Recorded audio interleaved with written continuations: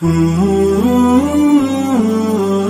الحياة بحبنا للدعوة لله رب العالمين تطيب. أسعد قلوبا بالهداية والتقى ونر طريقي كي أراه يطيب. طيب الحياة بحبنا للدعوة لله رب العالمين تطيب. أسعد قلوبا بالهداية والتقى وأنر طريقي كي أراه يطيب. وأنر طريقي كي أراه يطيب.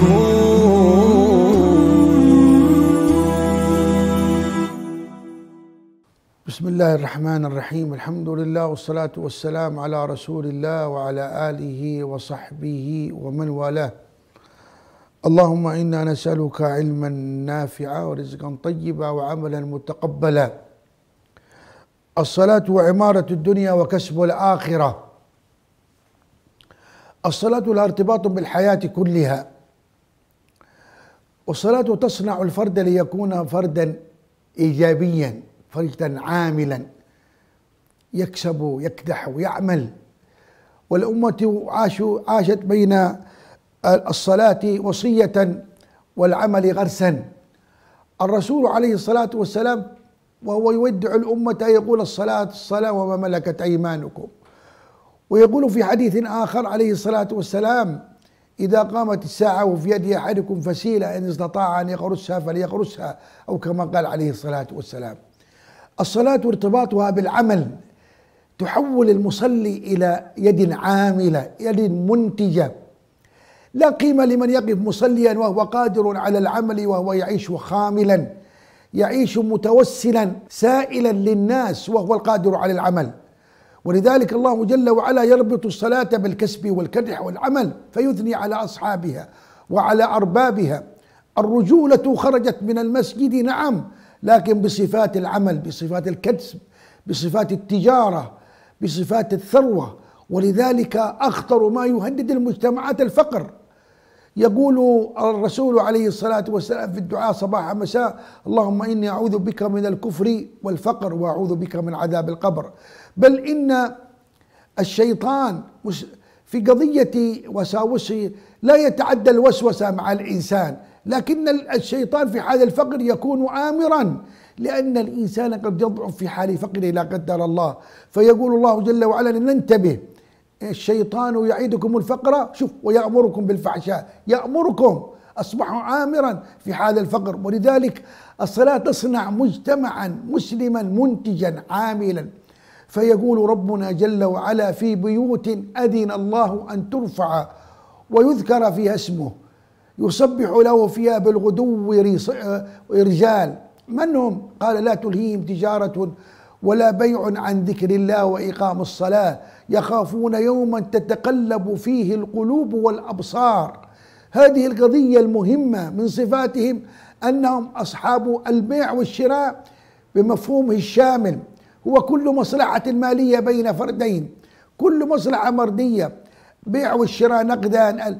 الموظف في وظيفته العامل في عمله المهندس في في ورشته الطبيب في عيادته بينه وبين المجتمع جوانب مالية مصالح مالية. هذه المصالح المالية الصلاة تصنع من الإنسان الا يكون خاملا وهو القادر على العمل. ولذلك ربنا جل وعلا قال في بيوت أذن الله ما قال أن تبنى أن ترفع وسناتي عند هذا. لكن الشاهد سيدنا عمر بن الخطاب وما أحوجنا لدرة عمر أحيانا رضي الله عنه وأرضاه. دخل يوما المسجد فرأى مجموعة من الشباب انقطعوا عن الحياة كسبا وعملا. قال من أنتم؟ قالوا نحن المتوكلون على الله. انقطعوا. قال من أين تأكلون؟ قالوا من الجيران من الناس. قال انتظروا فأحضر درته وضربهم وقال اعملوا أنتم المتواكلون. اعملوا فإن السماء لا تمطر ذهبا ولا فضة. هذه الصلاة تصنع منك وأنت كذلك إن شاء الله عاملا إيجابيا. تصنع منك منتجا تصنع منك عاملا.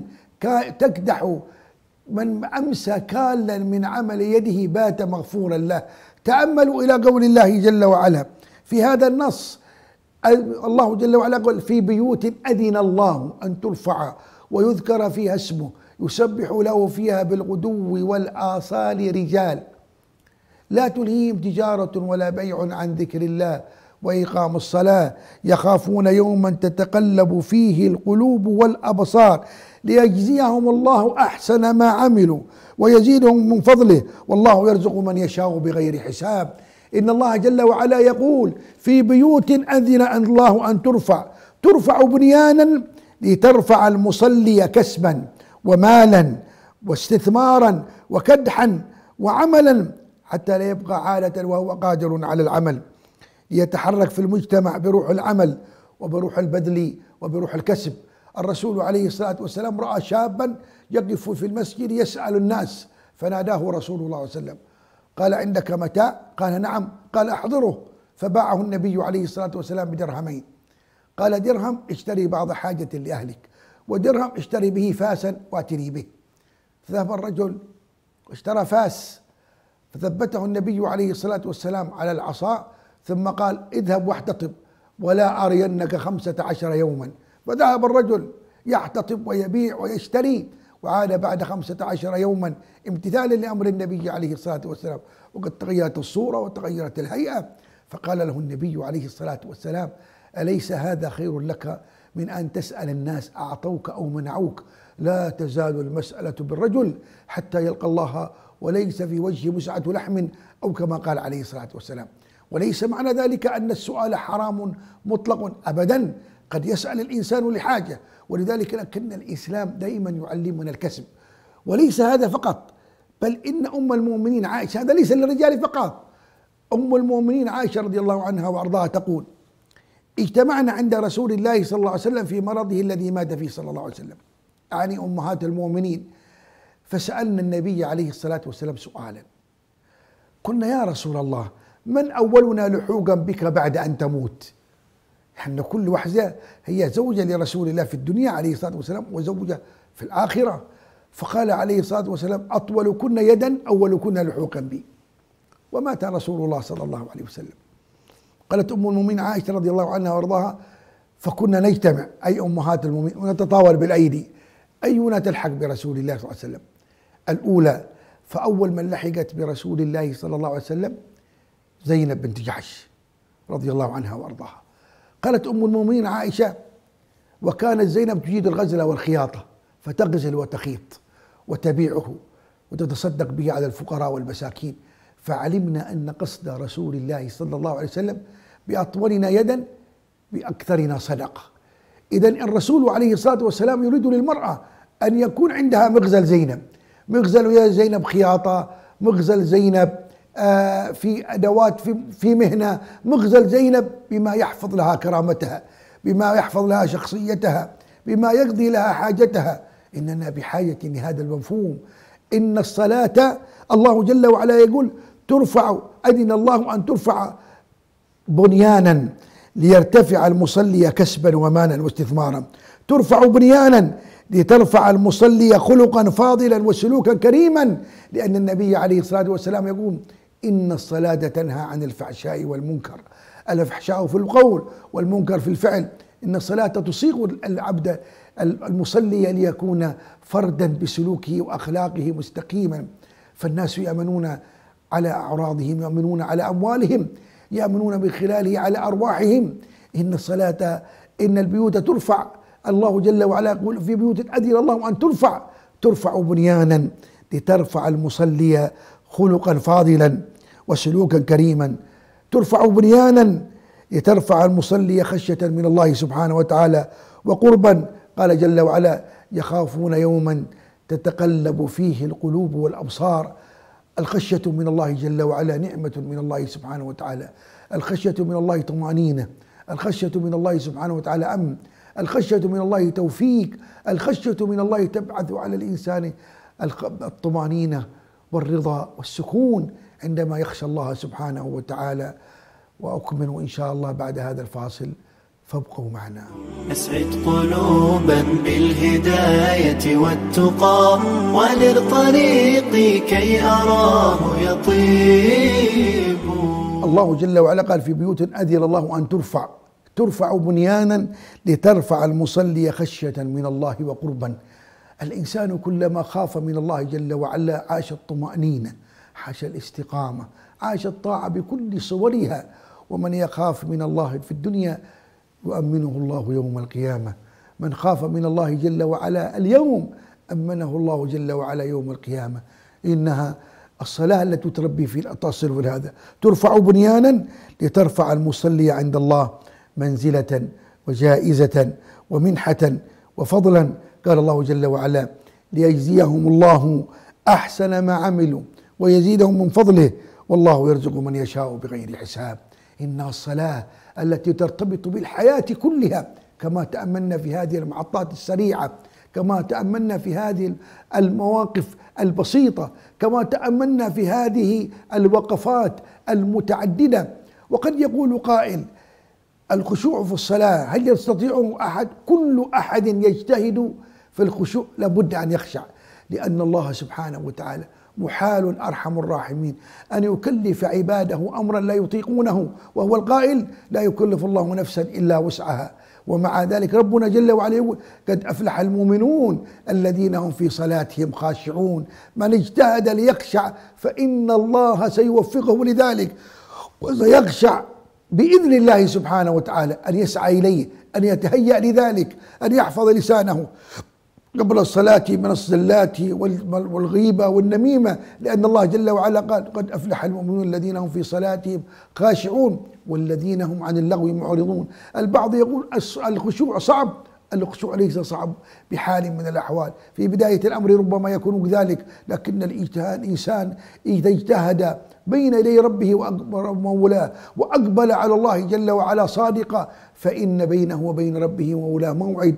وعد. قال الله جل وعلا إذا تقرب عبد مني شبرا تقربت منه ذراعا وإذا تقرب مني ذراعا تقربت منه باعا وإذا أتاني يمشي أتيته هرولا وإبليس عليه لعنة الله يدرك أن الصلاة هي المحور الأساسي في الحياة فجعل شيء جندا من جنوده له خاصية الصلاة فقط. شغله الشاغل أن يشغل الناس في صلاتهم. هذا إذا كان إبليس إبليس كأنه يؤمن بالتخصص. اختص هذا بالشيطان اسمه خنزب. هذا شيطان الصلاة. جعله إبليس تخصصه في الصلاة. يحاول أن يشغل المصلين في صلاتهم لكنه يبقى الشيطان ضعيفا بكل صوره. لخبر المولى جل في علاه إن كيد الشيطان كان ضعيفا. ولا بد أن ندرك بقدر ما ينجح خنزب هذا جند إبليس بقدر ما ينجح خنزب في صلاتنا بقدر ما يهدم من قيم في أخلاقنا وسلوكنا.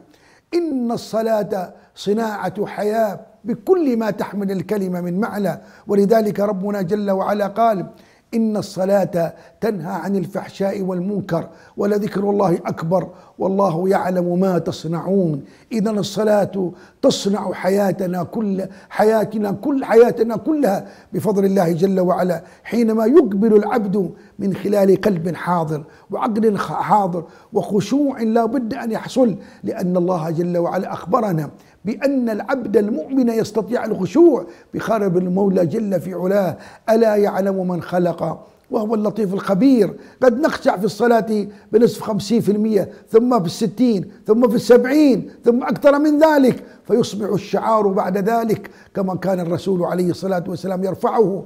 أرحنا بها يا بلال وليس أرحنا منها يا بلال. إن في الصلاة لذة كما يقول الصالحون. إنني أحدث نفسي قبل أن أحدثكم. ليس معنى ذلك أنني بلغت ما بلغت لا أبدا. والله الحديث لي قبل أن يكون لكم. لندرك أن النبي عليه الصلاة والسلام عندما قال أول ما يسأل عنه العبد يوم القيامة الصلاة. إن صلحت صلح سائر عمله. وإن فسدت فسد سائر عمله. لأن الصلاة تصنع الفرد صناعة ربانية تصنع الفرد صناعة عظيمة إلهية تقربه من الله جل وعلا. تصنعه قلبا تصنعه جسدا تصنعه عقلا تصنعه تصحيحا تصنعه علاقة. ثم بعد ذلك تصنعه كسبا وكدحا ليعيش ذلك المنتج في مجتمعه. أسأل الله جل وعلا أن يوفقنا جميعا لما يحبه ويرضاه. وإلى لقاء قادم إن شاء الله. أستودعكم الله الذي لا تضيع ودائعه. وصل اللهم وسلم وبارك على سيدنا محمد وعلى آله وصحبه أجمعين. والسلام عليكم ورحمة الله وبركاته. طيب الحياة بحبنا للدعوة. لله رب العالمين تطيب. أسعد قلوبا بالهداية والتقى. ونر طريقي كي أراه يطيب. طيب الحياة بحبنا للدعوة. لله رب العالمين تطيب. أسعد قلوبا بالهداية والتقى وأنر طريقي كي أراه يطيب. وأنر طريقي كي أراه يطيب.